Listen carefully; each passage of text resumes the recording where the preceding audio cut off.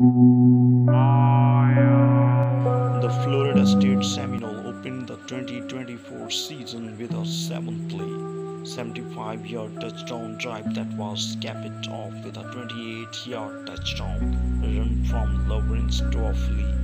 After score, the Seminole decided to go for two, and that was a successful. The Seminole lead Georgia Tech 8-7 early in the second quarter.